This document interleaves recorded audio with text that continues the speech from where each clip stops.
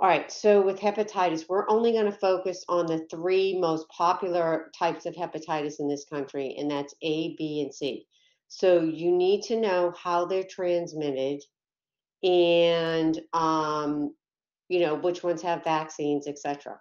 So Hep A, this is a slow onset. So somebody's going to eat some uh, raw shrimp or raw clams or oysters and come down with hepatitis A within a couple weeks. Okay. It's it's spread by fecal oral and contaminated uh, uh, food.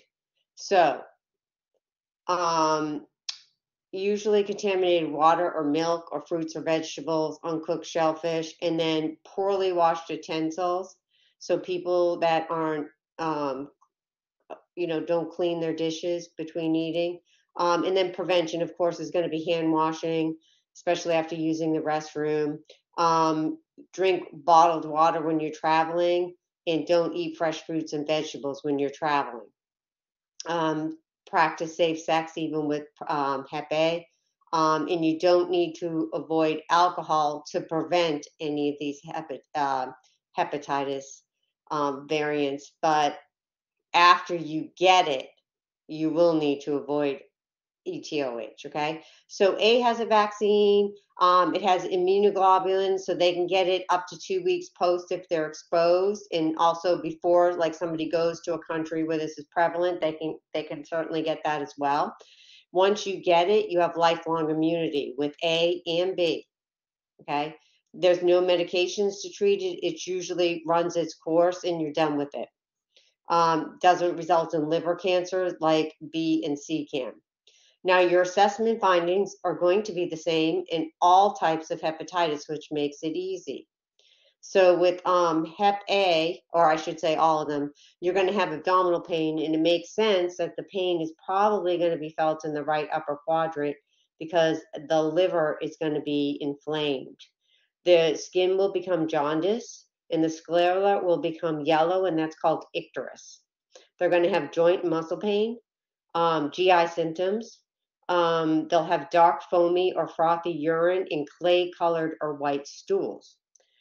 Fever is expected, high, even like 101. Um, nausea and vomiting, I talked about itchiness. They'll have itchiness because the bile salts, when the liver gets inflamed, are going to leak into the blood system and get under the skin. Um, clay colored stools, and look for um, abrasions on their skin from scratching too hard. So they're going to have elevated uh, ALT, AST, those are the troponin, so to speak, of the liver. So they're going to be released anytime the liver's under stress. Bilirubin will be high and elevated or normal alkaline phosphate. So the alkaline phosphate is usually elevated in conditions where there's obstruction. So that could be elevated or not. Um, anybody that has had hepatitis that's recovering or during hepatitis, they need to eat high carbs and calories moderate fat and protein. Small, frequent meals. Now, they're going to have anorexia because they're just not going to feel well. They cannot drink alcohol, and some providers make them wait a year until after they're healed before they can either before they can even have any alcohol. Um, they'll need high caloric snacks. Make sure they're having their vitamins, and then all types of hepatitis also have to, you know, you know have rest periods and you know they have to um, address their fatigue. And then the other interventions no sex for any type of hepatitis until the um, serological tests come back negative until it's shown that you don't have the hepatitis anymore. Um, do not share any personal items like towels or drinking utensils combs brushes. Um, don't prepare food for the family if you have the hepatitis, no alcohol, and watch over the counter medications, especially acetaminophen when we're talking about the liver. Okay. Um, and then with B, the thing about B is this is can take up to six months to incubate. So they may not even realize how they got it. Um, and it's due to blood and body fluid although not in urine and feces, so you don't have to worry about it in urine and feces. So it's saliva and semen. Um, also infected blood products and needles. Um, organ transplants, that's another reason. Same, and you can just kind of put B and C in the same category, so to speak. Okay, so safe sex, um, needle precautions. You know, in our country, we um, screen all the blood before they get it. Okay, vaccine for B, no for C. Uh, immunoglobulin is given for B, but not for C. We don't have one for C, I should say. Um, so once somebody gets A and B, they're going to be immune for the rest of their lives. If they, with B, most people are able to clear the virus on their own. And if not, they do have antiviral medication they can take. If they develop the cancer, the, the chronic form, they, they may develop um, cancer of the liver.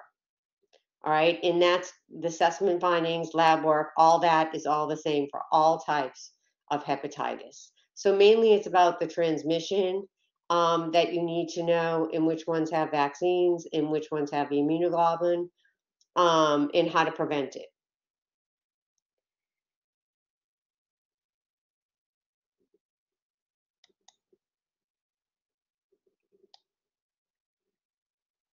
Okay, with cirrhosis, okay, this is kind of busy. I have another one too. If this is too busy for you, just hang on. So this is a multi-system disease and it is going to affect every area of the body. And you're going to have to know the symptoms and what we do about them.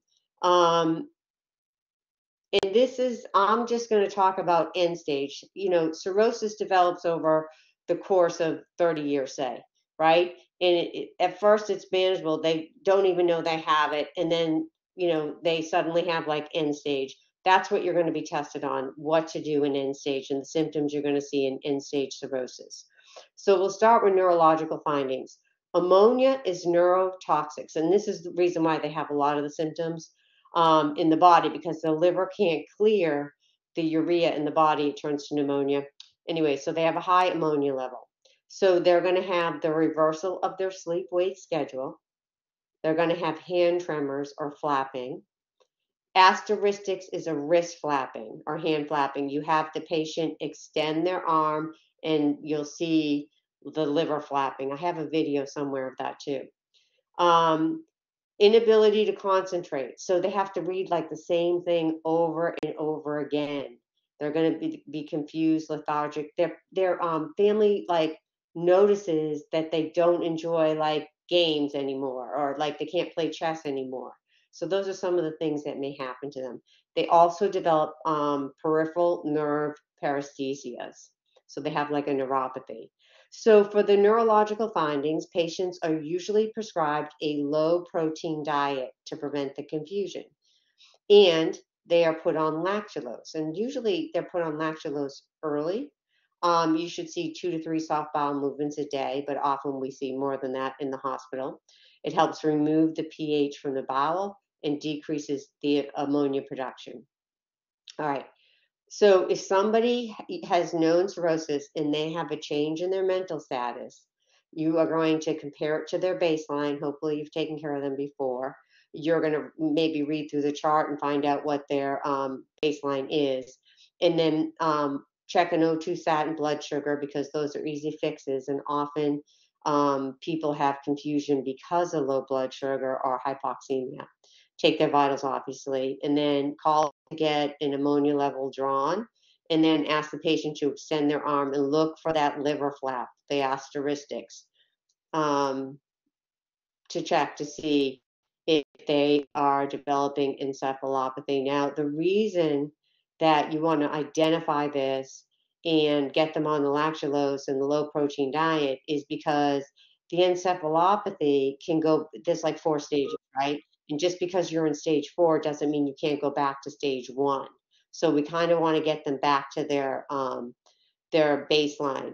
Some people with end stage um, cirrhosis are going to kind of talk like they're drunk, even though they haven't been drinking. They can slur their speech. So that's like another symptom. Okay.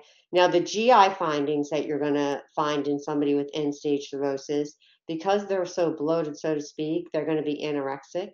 They'll have hemorrhoids, and that's from portal systemic hypertension. They're going to have pain in the right upper quadrant, um, clay colored stools, and that's due to obstruction of the liver calculi. Um, and then varices. They and that's a big deal. Varices bleeding are going to be a big deal on your exams, and you get tested on that a lot. Um, they're going to have malnutrition and fetor. Fetor is musty breath. The splenomegaly they develop from the portal hypertension, and they're going to have clay colored stools and maybe diarrhea and nausea. All right. So again, we're going to give the low diet protein diet, soft foods. They have to be soft. This is to prevent them from bleeding from the varices. So you don't want them eating like chips or potato popcorn or anything like uh, burnt toast, something like that. You don't want them eating hard food. It, you know, they need to be on a low sodium diet because of the ascites, and they're going to need small, frequent meals. The endocrine findings, um, their body can't get rid of the hormones because the liver can't break them down. So they're going to have increased aldosterone. So they're going to have increased sodium and a decreased potassium. They're going to have increased ADH, which means they hold on to fluid, so that can exacerbate their ascites, etc. But the biggest um, symptom you'll probably see is they have increased circulation of estrogen. So they have they can have like hot flashes, but they have like red palms. Um, they have spider angiomas. Men can have gynecomastia, and then they'll have sexual problems as well. All right, and then with the renal findings, hepatorenal syndrome happens at the end is when they both have liver failure and renal failure. And we're going to talk about renal failure for the third exam. Um, for right now, just know that this is like end stage when they get there. Um, they will have an increased bilirubin and um, the other thing you're going to monitor for is fluid and electrolyte findings. So they're going to have a relative hypovolemic state. That's what they'll be in. So look for that low blood pressure, um, tachycardia, high respiratory rate, narrow pulse pressure. All right. So um, the dermatological findings include jaundice. They are going to have extreme itching skin, so they're going to see scratches. I have some pictures of it too. Pubic hair changes, we talked about. Caput medusa, I have some pictures of that for you the spider angiomas and the palmar erythema from the estrogen, ecchymosis and petechiae purpura. This happens because the liver normally makes our clotting factors and it makes the vitamin K dependent clotting factors. So our patients are going to be at high risk for bleeding. Also, when the spleen gets inflamed, it eats the thrombocytes. So they're going to be even more at risk for bleeding. Okay, so you're going to put them on bleeding precautions, and you would check a CBC with platelets and check their coagulation studies. And if they are bleeding, if they have a prolonged PT-INR, you're going to give vitamin K or FFP. Now remember, you give FFP in an emergency if they're bleeding, and vitamin K you would give after FFP. All right. Now, the hematological findings include and this is due to the splenomegaly that I'm talking about, anemia, thrombocytopenia. They'll also have leukopenia, which all leukopenia can is one of the reasons they can get spontaneous bacterial peritonitis. Now remember with peritonitis, they could have like the board-like abdomen, a fever. Um, so be watching out for that. And then um, impaired coagulation. So I talked about that. Um, so they're going to have a low albumin, which puts them at risk for infection. So they're going to be at risk for infection. Um, I talked about the decreased clotting factors, the cardiovascular symptoms. Okay, because they have portal hypertension, um, they're going to be at risk for the ascites. But the ascites is also going to make them um, have, have pulmonary findings. So because of where the ascites is, the proximity to the lungs, they could develop pleural effusions, and that can be quite uncomfortable for them. So they could become short of breath, hypoxemic, have dyspnea. So make sure you get the head of the bed up 30 degrees with the feet elevated to decrease the edema. Um, do daily weights to see how the fluid's doing. Give put O2 on them and make sure you're assessing the respiratory status every four hours, four to eight hours. Um, and then if they do have bleeding varices, okay, you are going to have to manage that. So before they even get to that stage, hopefully they've been screened for varices and have had them either banded or ligated um, prophylactically. They're going to be put on a non-selective beta blocker to keep the blood pressure down in the portal system. Um, treat all infections, but they can be given two medications, octreotide. Octreotide can be given to somebody with coronary artery disease. Vasopressin cannot, and it could exacerbate coronary artery disease. So monitor for ST changes. You will see those before you see dysrhythmias. Monitor for chest pain and a headache. Okay. They're going to need endoscopic treatment if they're actively bleeding. Make sure you have your suction set up ready to go. Because if they start bleeding, you need to be able to suction their airway. You've got to protect that airway. Um, make sure I'm going to talk on another um, page about the balloon tamponade with the esophagogastric balloon tube and the nursing implications of that. Um, they may need blood products, and you're going to monitor their respiratory status, you know, when they're bleeding and suction their airway, but also their neuro status because when somebody swallows blood, it gets absorbed as protein. The body digests it as protein, and their BUN level is going to go up. This BUN level, they cannot, you know, is going to end up with high pneumonia, and not pneumonia, high ammonia, okay, because they can't convert it. And what's going to happen is then they're going to get encephalopathic. That's why you have to watch the neurostatus. Um, and then administer your lactulose. Oh, here's the Sengstaken-Blakemore tube. Okay, Stay with your patient if they have it. Maintain a patent airway. And that's the most important because that balloon can migrate up and occlude the airway. Keep scissors in the room. If the airway gets occluded, you can cut the tube and the balloons will deflate. Never leave a balloon inflated greater than 12 hours. Um,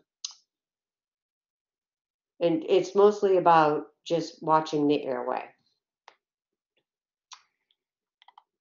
And then they may do if some if they suspect they have spontaneous bacterial um, peritonitis, they may do a paracentesis. They may also do a paracentesis because the is quite uncomfortable and it will come back, but it may offer some temporary relief for patients with cirrhosis. So nursing implications, obviously, it's an invasive procedure. You're going to need an informed consent. Uh, weigh the patient before and after the procedure because you want to, you know, see if the amount of fluid taken off matches the weight.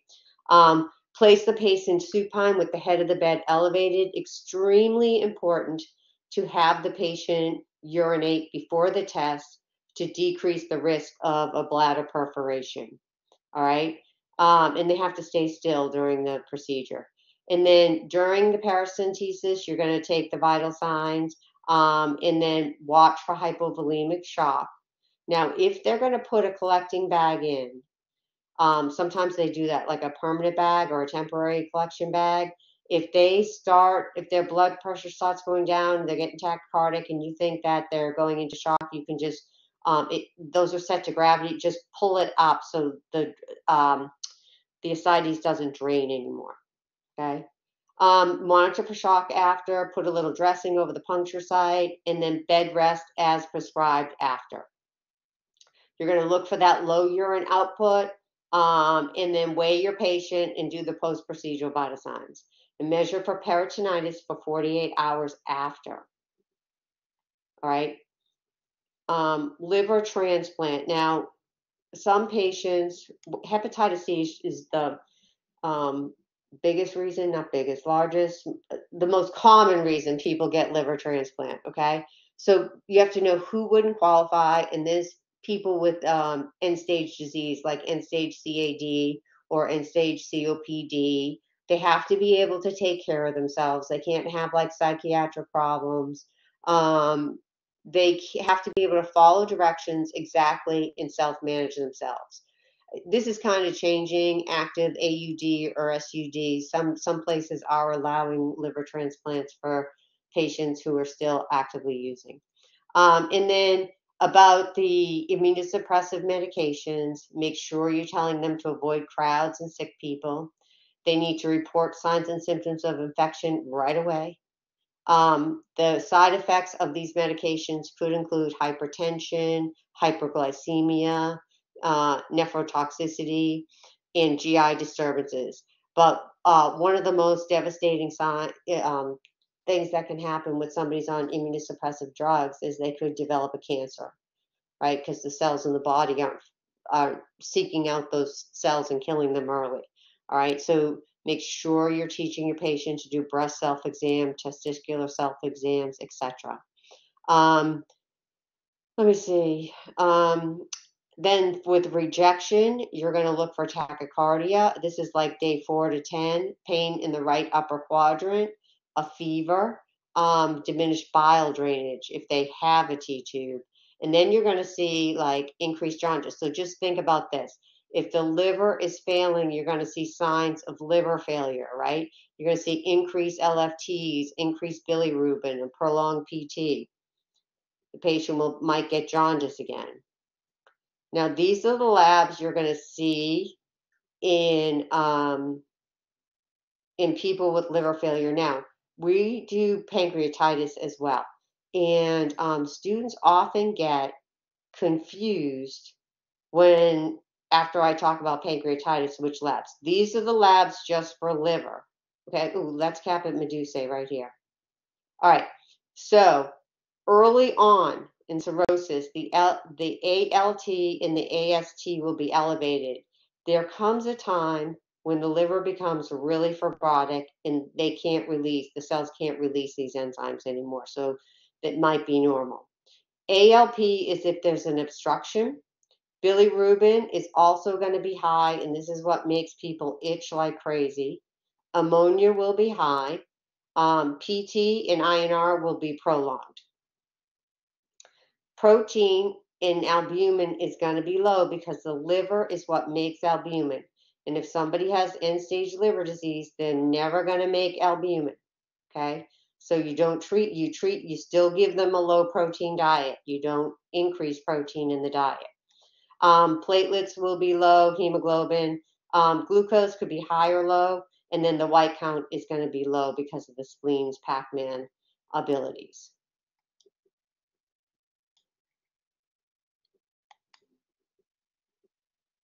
All right. Again, cirrhosis. It occurs over a number of years, and people often don't know they have it. The main cause in this country is hepatitis C, but it can also occur for somebody that drinks too much. So, some of the um, side effects, or I should say, adverse effects of uh, late stage liver disease include portal systemic encephalopathy. So, um, you have to do a nervous system assessment and this is due, the reason they get these symptoms is because of the ammonia buildup in the blood. And ammonia is neurotoxic. All right. So the normal level of pneumonia is 10 to 80. So if it's you expect it to be high. Um, lethargy and fatigue. Asterixis. See how this is like the arm is extended and the hand is flapping. Slurred speech, even when they're not drinking. They can have slurred speech, loss of concentration, mental status, sleeping all day, being awake all night. They can have a, a Babinski reflex, which is usually only seen in babies, um, peripheral neuropathy, and hand tremors. Fetor is that bad, musty breath. That's another thing that can happen when they have PSE. Okay, because the ascites is so big, they're going to have trouble breathing and they can develop pleural effusions. In the GI assessment, they're going to have VAN, vomiting, anorexia, and nausea. I talked about the splenomegaly eating up all the blood cells, all the types of blood cells. Um, early on, they're going to have hepatomegaly, and then as the disease um, progresses, it's going to be smaller. It's going to be fibrotic and shrink.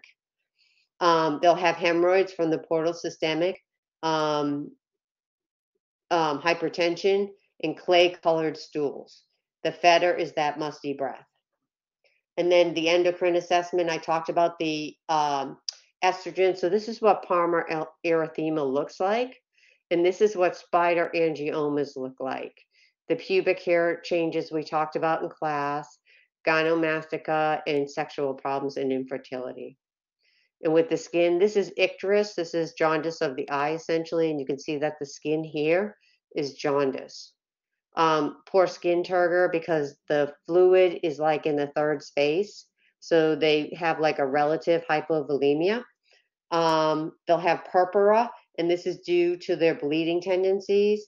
These are the excoriations. This is what you can see on somebody who has um, bile salts under their skin. It gets so itchy.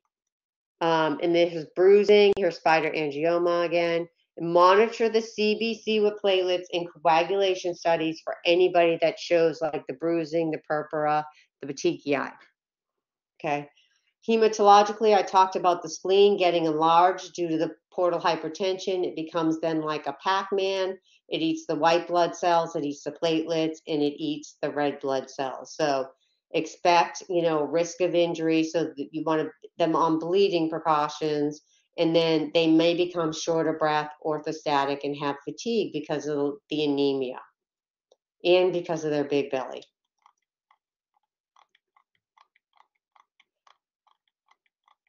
Okay, they are going to have low protein blood levels, but you're still going to keep them on a low protein diet.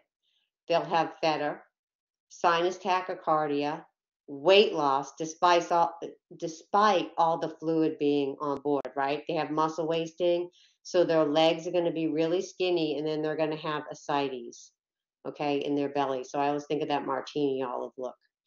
Here are the labs again, same as the last page, okay? So the ones in pink are going to be high and the ones in blue are going to be low. So don't get them mixed up. Um, and then liver biopsy, biopsy, they may do a liver biopsy to see if they do have cirrhosis. So no food or drink for four hours. Get a consent, do a timeout. Um, they're going to need coagulation studies and platelets um, before the procedure. They will need to get those labs done and then they're going to have to hold their breath while the provider performing the biopsy actually sticks the big trocar in. All right. But what you're going to do after is put the patient on the right side because they're going to be high risk for bleeding and you want to tamponade that bleeding. All right. And then look for those signs of shock that you know so well. All right. Some other um, interventions we're going to do we're going to put the head of bed up maybe the feet up a little bit if they're they have edema. They're going to be put on a low sodium diet. They're going to eat soft foods um, and make sure they're low protein soft foods.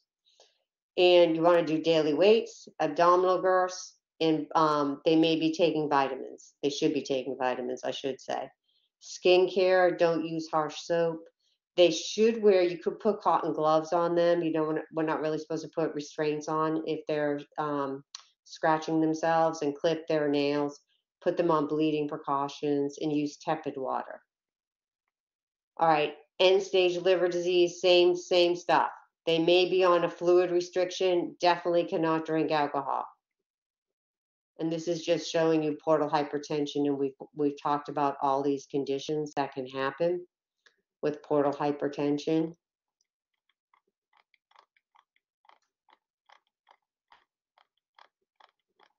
Okay, so everybody needs to be screened for varices in endoscopy. Now, endoscopy is used for screening, but it is also used if somebody is bleeding from varices to either sclerose or um, ligate the varices. Okay, so every patient needs to be screened. They'll be put on beta blockers. Um, treat all infections aggressively because that can increase bleeding. Remember, octreotide is the medication you can give to patients with CAD. Vasopressin, you do not. Monitor for the ST changes.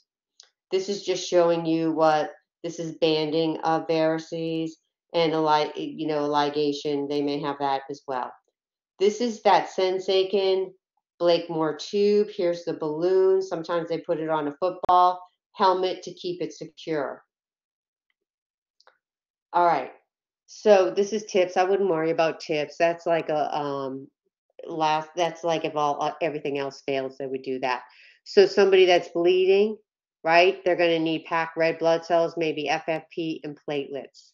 Um, they're going to need uh, if they're bleeding, you're going to put put them on. Make sure they're taking the lactulose so that they don't get encephalopathy from swallowing all that blood. Um, the other drugs, they can also give cap, vancomycin capsules to clean out the bowel, um, and uh, flagyl as well, and neomycin too. Um, okay, I talked about the Sensate Blakemore tube. Never inflate more than 12 hours. Cut the balloon if the patient is in distress. Vasopressin, we talked about the ST segments. We're going to look for that because you'll see that before dysrhythmias. Monitor for the chest pain. Uh, I talked about octreotide. Um, endoscopy treatments for the hemorrhage is what they're going to do. They don't get rushed to the OR, they get rushed to endoscopy. Um, portal systemic hypertension, uh, encephalopathy. So this is again hand tremors, asterixis, inability to concentrate, reversal of sleep wake. Also, their emotions can be all over the place. They can be happy one minute, sad the next, very inappropriate as as well at some times.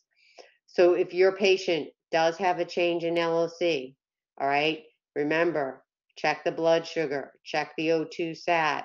Remember always assess first, if unless the patient's really in distress. Call the provider. You're going to need to get an ammonia level and um, ask them to extend their arms and hands so you can check for uh, wrist flapping.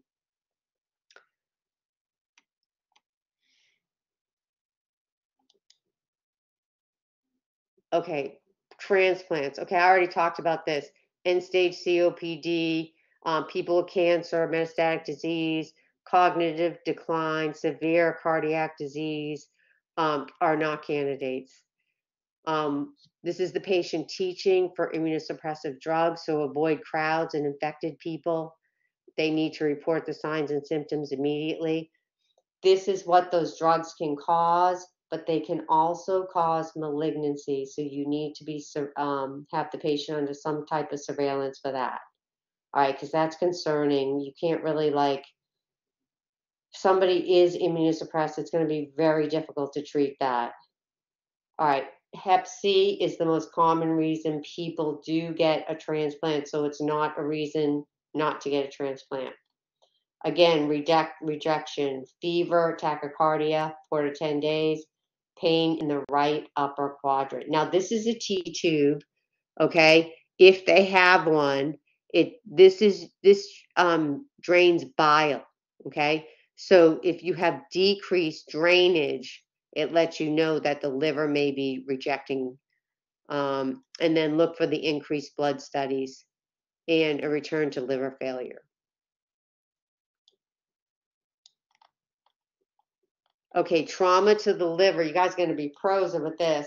Um, remember, your liver receives 1,500 milliliters per minute. So that just shows you it's highly vascular. So if somebody has an MVA and they have a liver laceration, they could bleed out quickly. So look for signs of decreased perfusion. Sinus tachycardia first, thirst. They may be asking for more to drink um, increased respiratory rate. The one that students usually forget is the narrow pulse pressure because the systolic and diastolic pressure are closer together.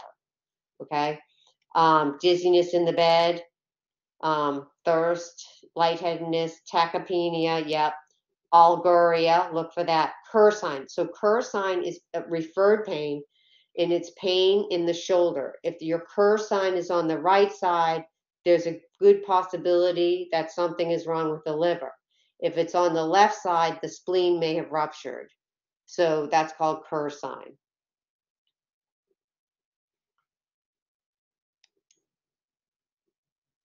Okay, now pancreatitis.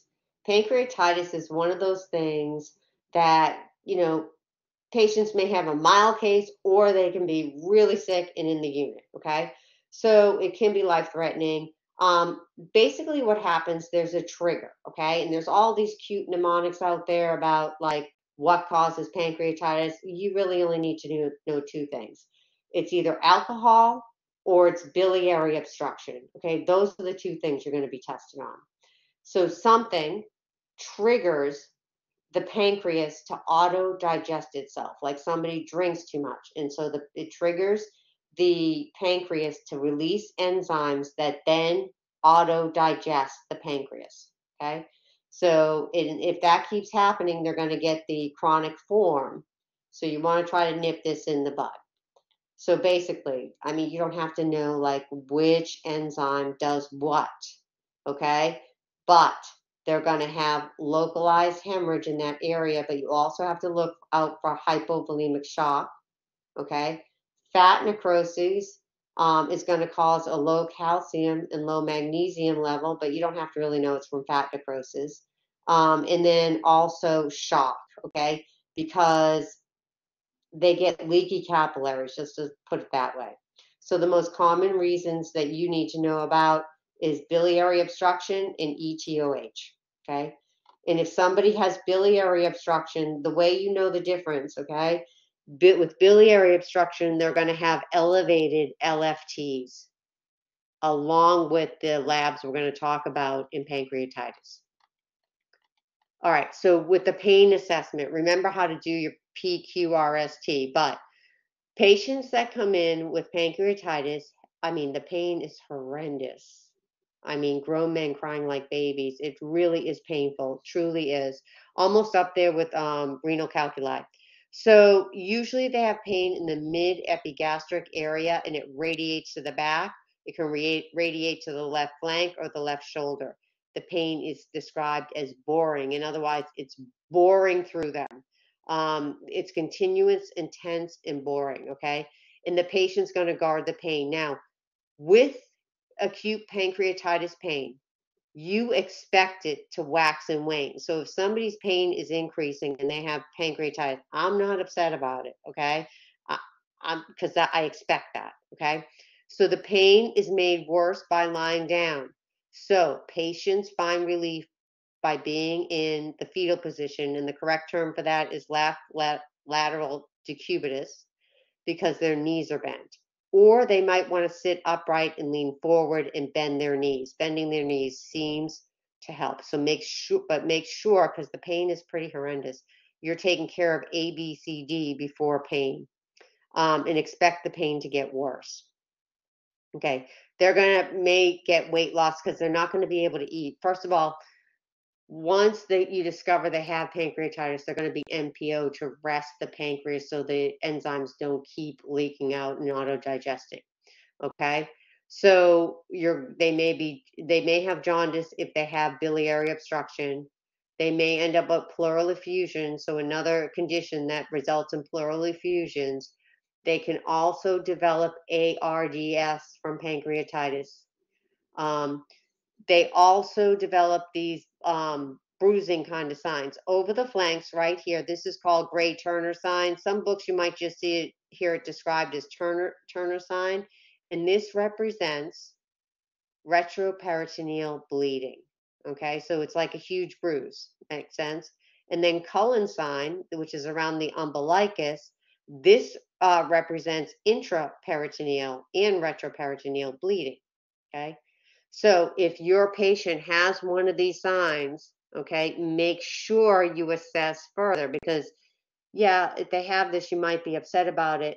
However, you are always going to be more concerned with someone's symptoms than a sign. Yes, he has Grey Turner sign or he has Cullen sign, but his vital signs are normal. I'm not waking a provider up in the middle of the night to tell them that because it's expected with pancreatitis.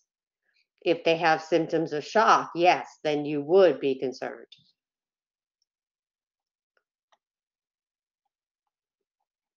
Your abdominal inspection. Remember the order of abdominal um, assessment.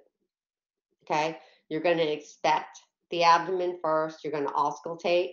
Now, their uh, bowel sounds may be decreased or absent because they may develop a paralytic ileus. So if they pass flatus or having a BM, this is the best indicator for the return to peristalsis. If they have that, they don't need an NG tube. However, If they develop a paralytic ileus, they will need an NG tube. Um, they can get paras- pancreatic uh, ascites in that area, and then they could have some uh, rigidity. That's not that important, but they will have tenderness and guarding. Okay, so that's kind of important to know that they would guard like that, but know the normal sequence of abdominal uh, assessment. So you want to inspect, you want to auscultate, you want to percuss, and then you palpate last. All right, here are the labs. Now you're going to need to know this. Amylase. Amylase is a pancreatic enzyme. It's going to be increased um, with people with pancreatitis. However, it goes back down after two to three days.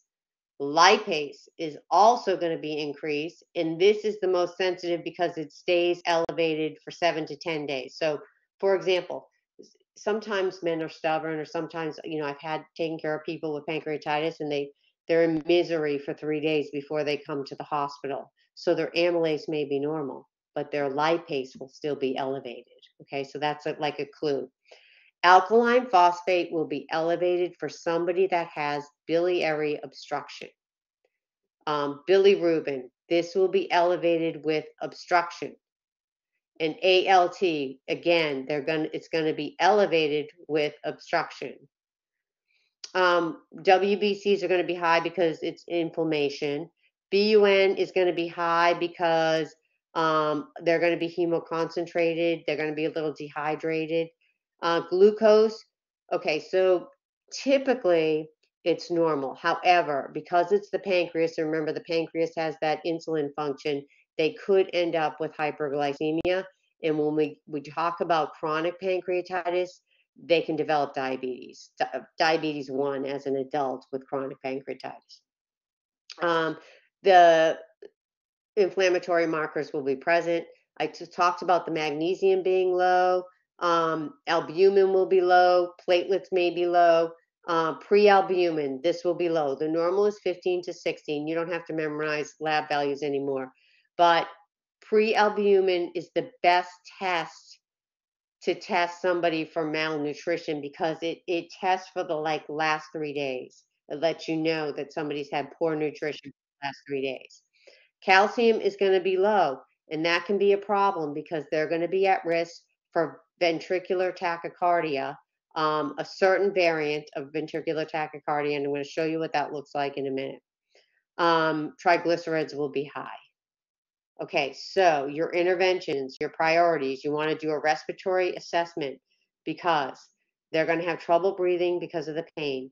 They're going to have, they may have pleural effusions and they may develop ARDS. So you're going to do the respiratory um, assessment. Then in your C category, you want to do the fluid resuscitation. That's going to be a very important intervention, more so than taking care of pain. Okay. I, I mean, I don't want, want to seem like I don't care about pain, but I really care about the blood pressure more than the pain. Um, and you want to anticipate and treat any complications. So make sure you're listening to Lung Sounds Q4. Um, make sure you're, you know, checking the O2 sat. Um, control pain um, by interventions that decrease GI tract activity, which means the patient's going to be kept NPO. That decreases the pain. Okay. Also, they're going to be on bed rest because when they get up and walk around, that increases metabolism, which increases the pain of pancreatitis. They're going to need um, morphine or Dilaudid They'll need antiemetics. Um, NG tube only if they don't have flatus or about uh, if they have no flatus or no bowel movement. So in other words, if they have paralytic ileus, they need an NG tube. You're going to assess for signs of hypocalcemia, so circumoral tingling and a long QT on the EKG, because of the fat necrosis. It, you don't really need to know that they're going to have a low calcium level monitor for fluid overload, okay? Listen for crackles. Um, and you want to see if, you know, if because you're going to have to differentiate cardiogenic pulmonary edema from non cardiogenic pulmonary edema. So you know if the pulmonary edema is for too much fluid or are they developing ARDS, okay? Um, and then this is what Torsades de pointes looks like. This is a variant of V-tach and it's treated with magnesium. That's how that's treated. So if somebody has this and you're in a code, you're going to treat with magnesium. You're not going to give the other normal meds um, because it antagonizes the, um, it helps the heart when there's hypocalcemia, put it that way. All right, so look for the other signs of hypocalcemia as well.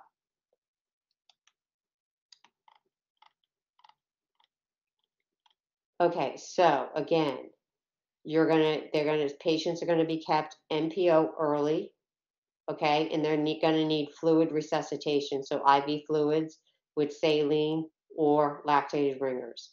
They're gonna need antiemetics, PRN, oh, IV fluid resuscitation again. All right, NG tube if they're not passing flatus, um, and pain management.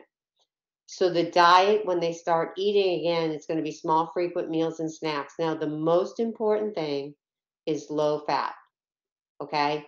They need to avoid alcohol and caffeine and no smoking. Smoking increases your the secretion of your digestive enzymes, so you can't let them smoke. Um, they may need like supplemental protein shakes. All right. And then chronic pancreatitis kind of the same signs and symptoms, couple of variants. Um, first of all, it's usually alcoholism that causes this because the patient will have episodes of acute pancreatitis over and over again, and finally it's chronic. The uh, organ is going to fibrose, so they're going to develop diabetes type 1. And you know it's highly unusual for an adult to develop diabetes type 1 um, in malnutrition. So look at their prealbumin or their albumin levels. So the assessment findings, um, they're going to have steatorrhea and they're going to have a lot of it, okay, unless it's controlled better. They're going to have unintentional weight loss and muscle um, wasting. They'll have jaundice, dark foamy stool, and look for the three P's of diabetes, okay? Now, they're going to have to take pancreatic enzymes. And this is for chronic pancreatitis only. So don't get turned around on exams. This is only for somebody with chronic pancreatitis. Okay. So it's usually um, prescribed and it's in a capsule form. If somebody can't swallow, you know, doesn't want to swallow, you can open that up and sprinkle it on food. They need to um, take it with all meals and snacks. You're going to put it in a carbohydrate food, not a protein food. Um, they need to follow up with a big glass of water. Teach them not to chew or crush the preparations, okay? And then um, the other thing is wipe their lips after taking the enzymes to avoid skin irritation. All right, dressing changes for central lines. Now, what's what can happen if somebody has acute pancreatitis and they're not able to eat? They may get tube feeds, um, and they'll they'll they'll get like a Dobhoff tube, which goes past the stomach down to the jejunum. Um, but they could also get TPN. Now, I don't know if I told you this before, but you never want to give TPN unless it's absolutely the last ditch effort to feed somebody because pancreatitis, um, because TPN has a lot of adverse effects. Okay, so like you want to make sure you have to be meticulous about your um, care of the vascular device that it's being infused in and just basic care of the um, infusion as well. So just dressing changes on a central line are a sterile procedure. Um, every place I've worked, you had to wear you had full gear, cap, mask, uh, goggles just to protect yourself, but you know, the gown, the, the sterile gloves and everything, okay? Um, monitor for infection. So when you're changing it, you're going to be looking for signs of infection because remember, the infection of a central line is probably going to start local at first. Okay, so before it gets systemic and you see like a you know increase in white blood cell or like a, a fever, you're going to see local changes first. So make sure when you're in there if there's any drainage or it looks bad, you culture it, okay? And make sure your dressing is occlusive. Um, and then um, the diet for pancreatitis, again, eat, they can't eat like spicy foods. It's got to be like bland. It's got to be low fat. It could be high protein, but the, the main thing is low fat because because fat is like what really stimulates the pancreas. Uh, nicotine, no smoking, uh, avoid caffeinated like cola, tea, coffee, alcohol, high fat foods. Okay. Pancreatitis is uh, not pancreatitis, heart therapy. So that's the pancreatic enzymes is only for chronic pancreatitis. And anybody that has chronic pancreatitis or has pancreatitis and they're going home, they're going to be very weak. So they need to be on one floor. And if they do have chronic pancreatitis, usually they need to be in a room that they have either a bathroom or they have a commode because they may be sitting on the toilet a lot. So um, they need to rest frequently. And also, you don't want them walking up and down stairs because that increases metabolism. It could lead to an exacerbation. So, report an increase in the frothy stools and fatty stools. And remember, they need to report the three P's of DM if they didn't have diabetes uh, previously.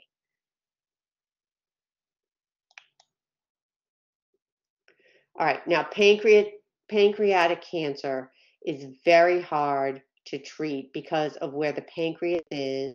Um, it's kind of a hidden organ, and we don't see the signs and symptoms until it's quite progressed. Okay, so it has low survival rates.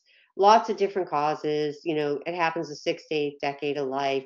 People smoke, people eat red meat. Um, males is more common in males, but the assessment findings you're going to find is the same findings you would find in anybody with biliary obstruction. So here is the icterus. They will be jaundice. They'll have that clay colored stool, dark foamy urine, pruritus. Um, my husband's cousin had pancreatic cancer, and that was his first symptom. He was just itchy all the time, and he couldn't figure it out. And finally, did some tests and found out he had pancreatic cancer. Excoriations. Um, pancreatic cancer is one of those thrombogenic cancers. So the patient could develop a DVT and they could end up with a pulmonary embolism. So make sure you're watching out for that and watching out for calf pain. They're going to have, they could develop type 1 diabetes as an adult, um, which is unusual. They'll have early satiety because of where the pancreas is, and the stomach is like on top of it. So the pancreas is impinging on the stomach. So that's another early symptom. They'll have extreme fatigue and gas. Have unintentional weight loss, which I know we all dream about that, but it's really good. So the labs that you're going to see, this is a tumor of the head of the pancreas right here, is increased liver enzymes in the LAP, the alkaline phosphate but also the amylase and the lipase will be increased as well. And look for those cancer markers. Um, it'll be diagnosed with an ERCP, um, and the treatment is going to be palliative, and they'll probably go on hospice care. Now, there is a procedure. It's one of my favorite surgeries. It's called a Whipple surgery, and it's a it's a really big surgery, and it's palliative. However, it does make patients more comfortable in their last kind of years of life. Um, so with this surgery, um, where's my picture of the surgery? Here's the Whipple surgery. Okay, so you don't have to know like what they removed anything. I just want to show you how it kind of ends up. You don't have to know like the configuration. I'm just trying to point out how they, how much like they move the water. Okay, so like this is and they move the end of the uh, stomach. So this is like a huge surgery. I love it because patients came to the PACU with like all these tubes. And I when I worked in ICU, it was it's fun when you get like a, a patient with a lot of like tubes and they're and over the course of a couple of days you can see like the tubes go away and see them waking up and getting better. So post-op care, they're gonna definitely be cared for in the ICU they would come to me in the PACU already in like this high, semi-high Fowler's position and be intubated. Okay, and the reason they're kept in this is to kind of decrease decrease tension on the anastomosis, so that's where the suture lines are. So you want to keep them like that and I don't know if you've been told this before, but if a, a patient has like a, a huge surgery, especially like on the stomach, you never remove that NG tube, you never advance it, you never like basically your job is to make sure it's working. Because if something happens and it's not, you're going to have to call the surgeon to come and, and manipulate it. Okay, you should never manipulate it because you do not want to pop one of these sutures. Monitor the urino. Obviously, you know what the normal urine output is because it's a big surge and you know, establishing fluid and electrolyte balances is going to be one of your main priorities. Um, the urine, I mean, the urine, they're going to have these JPs and they could have like four or five of them and they could be bile stained early for 24 hours. The complications are the same as any other operation, you know, with fluid electrolytes, atelectasis. So expect a low grade fever, expect bibasilar crackles on the first couple of days. You know what to do if they're not intubated, right? You're going to get a turn cough deep the incentive spirometer. Um, remember that pancreatic cancer is a thrombogenic type of cancer. So remember to watch out for your pulmonary embolism after. And ARDS is a possibility, okay? So that's non-cardiogenic pulmonary edema. You thought you were going to get away from it, huh? Um, and then look out for cardiovascular complications. It's surgery. They get a lot of fluid. So hopefully the heart can stand it. So you're going to look for you know, differentiate cardiogenic pulmonary edema from non-cardiogenic pulmonary edema. Um, check their electrolytes. That's going to be one of your priorities. Um, that was another thing. We had to do a lot of blood sugars after they could get um, uh, hypoglycemia after. And then paralytic ileus, they're going to come to you if they have a Whipple with an NG tube, make sure it's working. You want to keep the tension down on the suture line. And then if that eviscerates, you know, I'll stay with the patient, put normal saline gauze on it.